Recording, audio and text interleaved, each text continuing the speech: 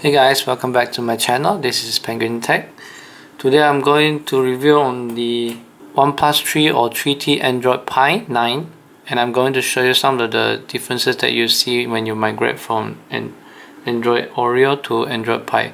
Keep in mind that this is still in the beta stage here. It's not an official OS for the OnePlus 3 or 3T but we can expect these changes to remain after the official and stable release of the Android 8. Android 9 Pie 4, OnePlus 3 and 3T. So first of all, you may want to go into community and look for the download link for OnePlus 3T and you can download it using a local update. Now what I'm going to show you is the go into the settings here and then we're going to the about phone here.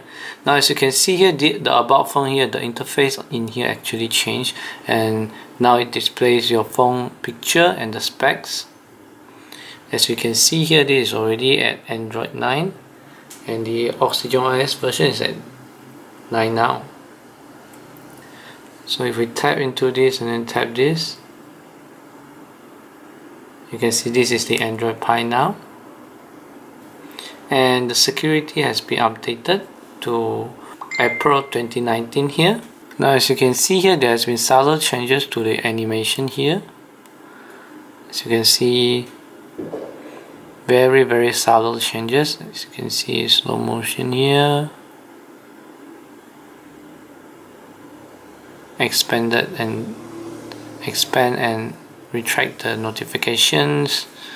The home screen the tab when you go into when you open an app all those subtle changes that make this phone feel fresh and good as new which is nice for a 3 years old phone that was released back in 2016 and also notice the change in the view of the recent apps. It's now horizontally and you need to swipe up to close the apps instead of the, the vertically viewed apps in the past. And you need to swipe left or right to close the apps.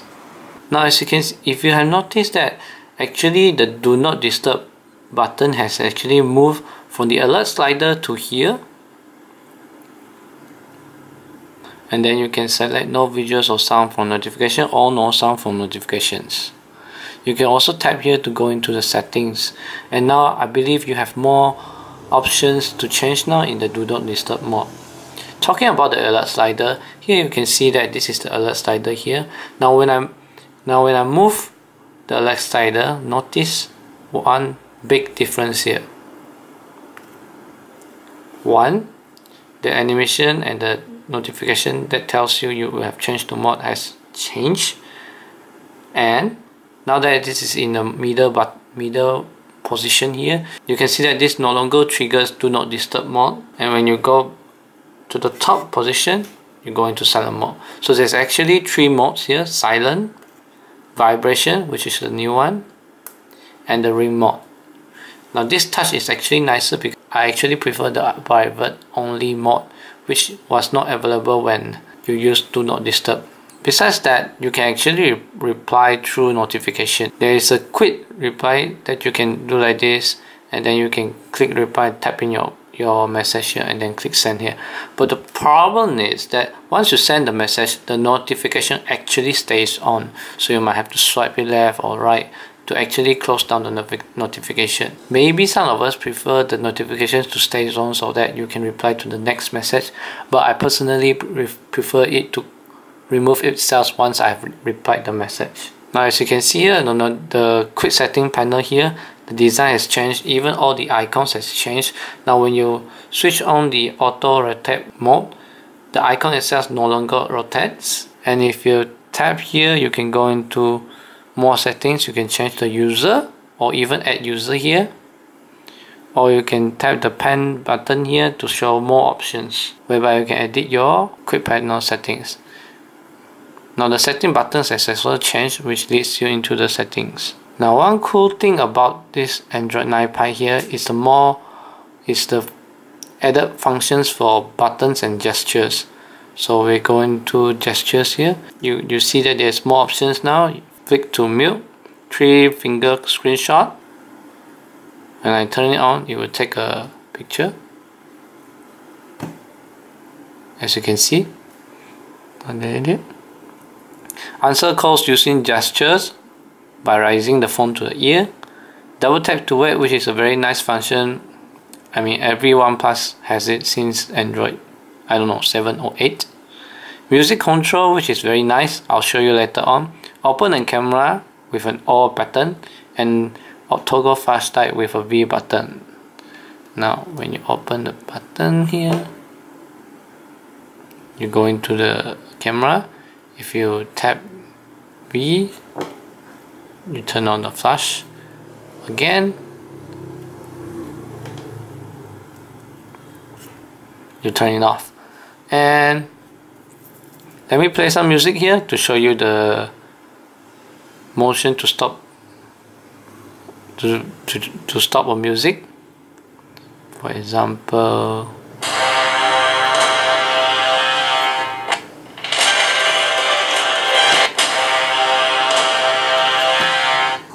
swipe, down with two fingers to play or stop the music.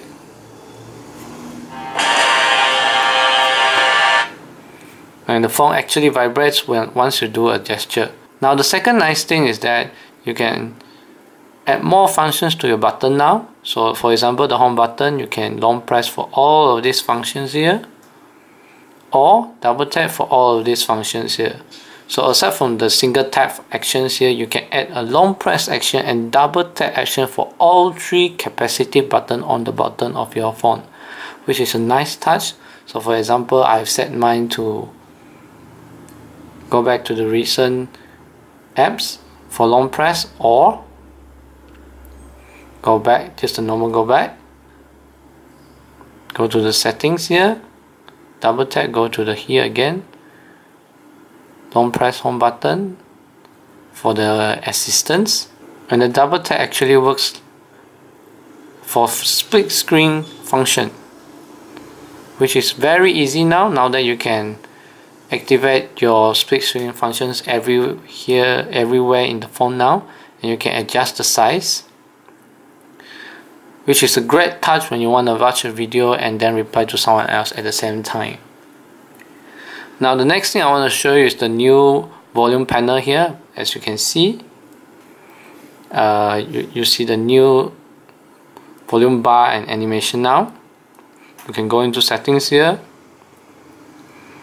or you can go here to change your media output.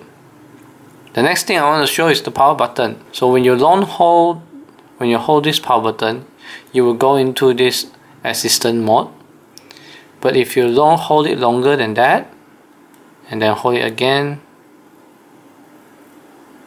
you can trigger this power off. Restart and screenshot function here. As you can see the panel here has also changed which is a nice touch. Now the clock design has also changed here as you as you can see in this image in this app here. Also the design for the phone phone here whereby you can see there's different interface now. It's really refreshing to look at. And in the camera we have an added function now. We have this Google Lens here now. So if you go into here so for example I might want to search this.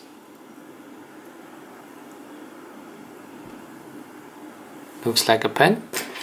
This is the implementation of the Google Lens into the camera here and so far for the camera quality it remains the same. No big improvement here. And also the same for the front camera. Now for this Android Beta 9 here we at OnePlus has also added a new gaming mode 3.0 here which you can see here. When you long press it will go into the settings here. As you can see there's a lot of settings here. You can add your uh, you can add the apps that you want to turn on the gaming mode automatically so in here they have added the text notification mode and added notification for third-party calls now so far with this Android 9 Pie Community Beta 1 there has been no lag whatsoever the phone remains very smooth as you can see here the phone's performance remains the same. If we run AnTuTu, the score is about the same as well, which means that it doesn't impact the performance at all. The fingerprint is as fast as I demonstrate here. still as fast as it was. The face unlock is still very fast as well. And with this new update, I have not seen any major change towards the battery life. It doesn't extend the battery life, nor does it decrease the battery life as well. So it's just as good. So there's a few bugs that comes with this, with this beta. So one of it is the clock timer or the stopwatch interface display is incomplete. As you can see here, the buttons look outwardly close to each other.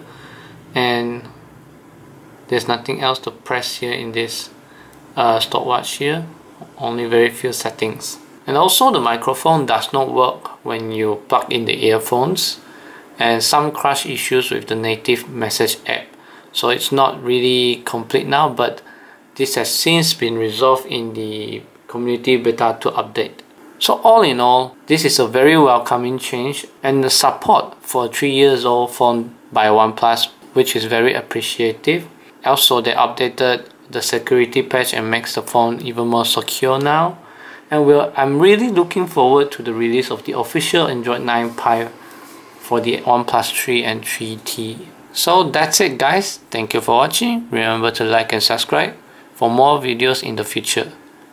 Bye bye!